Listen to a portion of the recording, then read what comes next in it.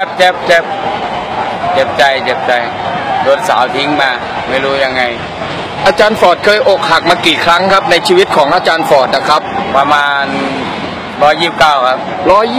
129ครั้ง ครั้งที่130จะอกหักไหมครับ ไม่แน่ใจครับหรือจะฆ่าตัวตายไหมถ้าอกหักครั้งที่ไม่130ไม่ไม่มีครับไม่มีไม่มีใช่ไหมครับผมครับผมอาจารย์ฟอร์ดเป็นคนดีมากที่ไม่คิดสั้นนะครับ ครับผมโอ้โหโลกมนุษย์จะมีคนแบบนี้อีกไหมเนี่ย ดูเป็นตัวอย่างไว้นะน้องๆ ดูเป็นตัวอย่างที่ดีเลยนะเนี่ย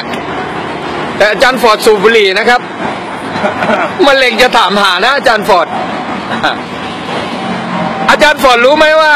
กระแสเพลงนางยักษ์ของอาจารย์ฟอร์ดกำลังติดลมบนเลยนะตอนเนี้ย อ๋อยังไม่รู้เลยครับก็ขอบคุณแผ่นได้ได้ออกขายหรือยังครับแผ่นนะยังยังครับผมจะซื้อไป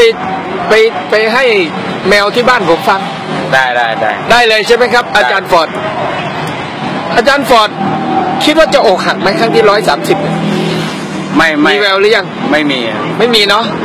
โอเคดังนั้นก็ขอบคุณนะครับ ขอให้มีความรักที่สวยงามนะครับ ในครั้งที่ร้อยสามสิบนะครับ ครับผม ใครเป็นแฟนอาจารย์ฟอร์ดก็ขอให้โชคดีนะครับผม ครับผม สวัสดีครับ สวัสดี